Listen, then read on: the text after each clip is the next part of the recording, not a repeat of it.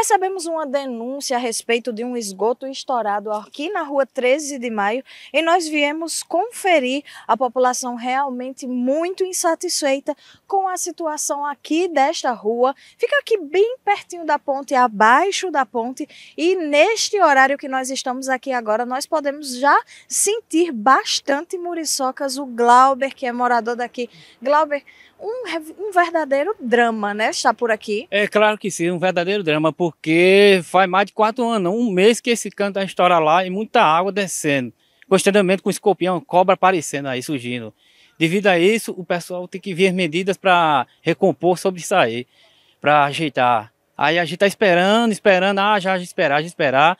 Aí eu tinha falado com o menino da carne para ele prever, para ele ver se podia ajeitar, mas não, ele tá demorando para vir agora. Só que não vem. Glauber, então essa situação é referente a um cano da Caerne. Exatamente, é um cano da carne que está vazando, recompor com os poços d'água que tá ali.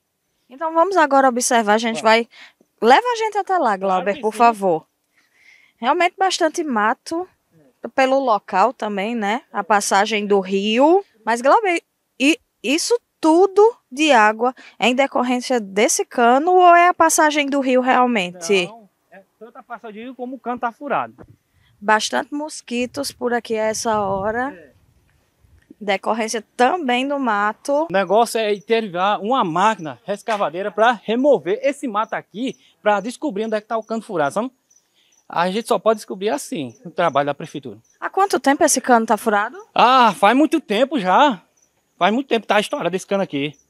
Já falei com o pessoal da COSER, eles disseram que vinham olhar, mas recorrendo isso aí, não vem não.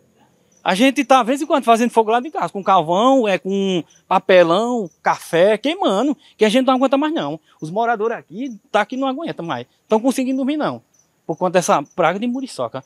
O perigo não é isso, é a dengue, que tem criança aqui que mora aqui. Tem, tem dengue, cobra, escorpião, sabe? Sobre esse questionamento. Aí eu quero que tome as medidas precisamente, né? Sobre esse caso. Então, é uma situação bastante difícil que os moradores encontram aqui e nós aguardamos o posicionamento das autoridades, né, das pessoas responsáveis, para ver se clareia, se dá uma luz, se dá uma solução para esse povo que está sofrido com mosquitos e muriçocas.